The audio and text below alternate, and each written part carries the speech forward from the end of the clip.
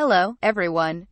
Welcome to watch the video named Immunogenicity Overview of Therapeutic Biologics which created by Creative Biolabs. In this video, we will introduce the definition of immunogenicity, background of immunogenicity and importance of immunogenicity, therapeutic biologics development. What is immunogenicity? The concept of immunogenicity is more complex.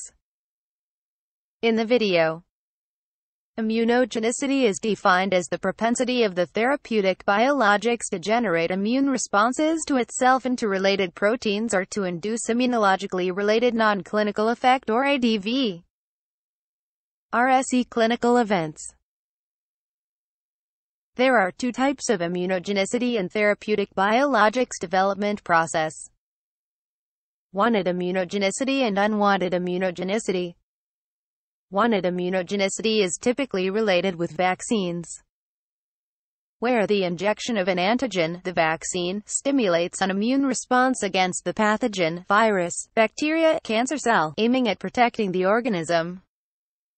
Unwanted immune responses to therapeutic biologics may also neutralize their biological activities and result in adverse events not only by inhibiting the efficacy of the therapeutic biologics, but also by cross-reacting to an endogenous protein counterpart, leading to loss of its physiological function, e.g., neutralizing antibodies to therapeutic erythropoietin cause pure red cell aplasia by also neutralizing the endogenous protein.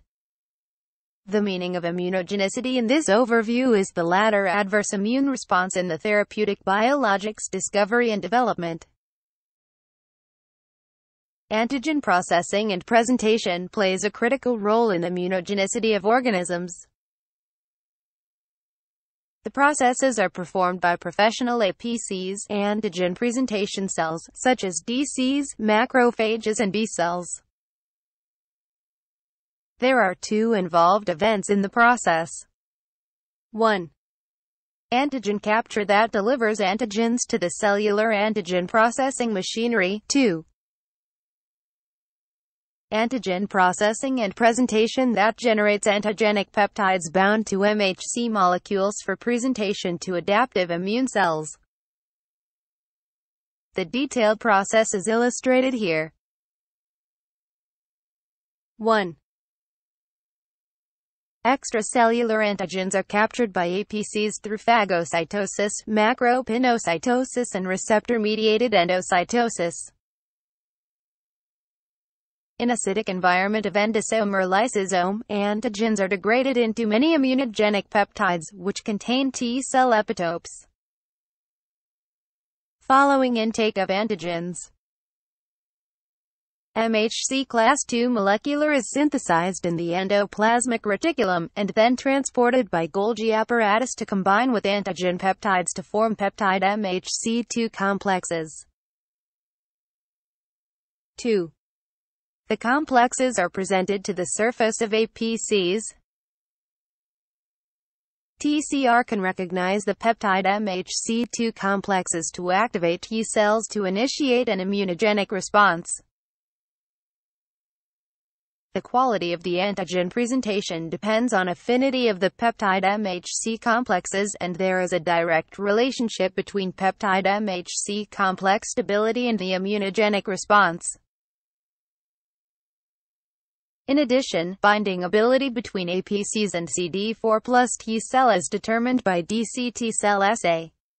T cell dependent and independent pathway involved in an immunogenic response.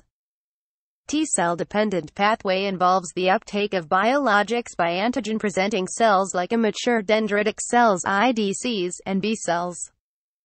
DCs process the biologic into peptides mature and migrate to the T-cell zone of the draining lymph nodes where they present the antigenic peptides to naive T-cells expressing antigen-specific T-cell receptors. This leads to T-cell activation and proliferation. B cells can also take up biologic through their B cell receptor process and present biological derived peptides to activated T cells that have migrated to the B cell zones. Activated T cells stimulate B cells resulting in the generation of antigen-specific antibody-secreting plasma cells. T-cell independent pathway involves the direct stimulation of B cells by aggregated form of biologic.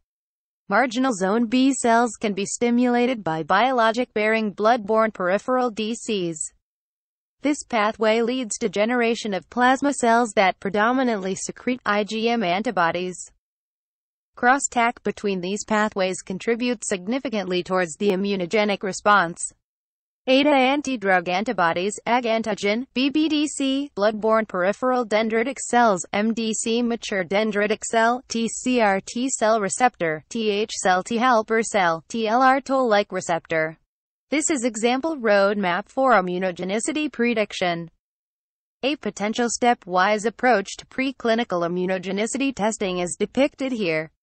Step 1 would consist of the in silico screening of linear sequences from multiple therapeutic candidates for T-cell epitopes and clusters.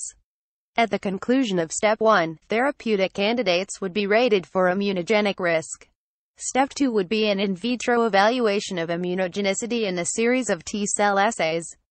This phase could include examination of antigen processing and presentation, post-translational modifications, and different formulations.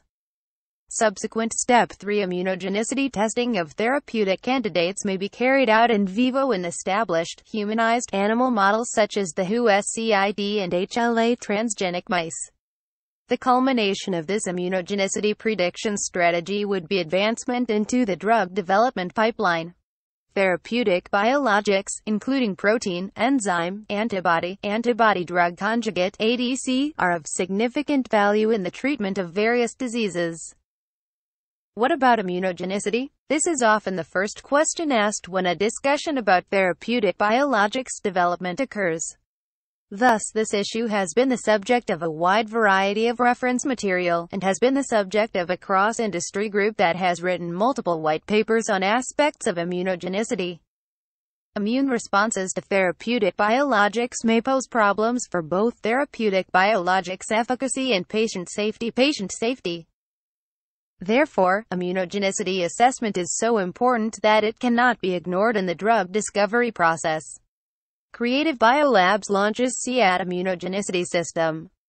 Featured services of SIAT system includes SIAT in silico immunogenicity assessment, SIAT ex vivo immunogenicity assessment, SIAT in vivo immunogenicity assessment, SIAT anti-drug antibodies assays, and SIAT immunogenicity. Effective immunogenicity in the therapeutic biologics development can be summarized as follows. Effects on bioavailability. Effect on safety and efficacy. Effect on PK including potential cross-reactivity to endogenous proteins. Inhibition of the function of endogenous protein. Injection site reactions systemic reactions mild or life-threatening, formation of ADA, HAMA, HACA, HAHA, formation of neutralizing antibodies, formation of immune complexes, formation of anti-idiotypic antibodies. There are some real cases for illustrating the impact of immunogenicity. The first-generation therapeutic mAbs were of murine origin, leading to highly adverse immune responses in patients because of the foreignness of the antibodies. Immunologically based adverse events such as anaphylaxis, cytokine release syndrome, and cross-reactive neutralization of endogenous proteins mediating critical functions, have caused sponsors to terminate the development of what otherwise may have been efficacious therapeutic biologics. Fundamentally, with therapeutic biologics being developed today, the most important factor concerning immunogenicity is that it is a covariate of pharmacokinetics.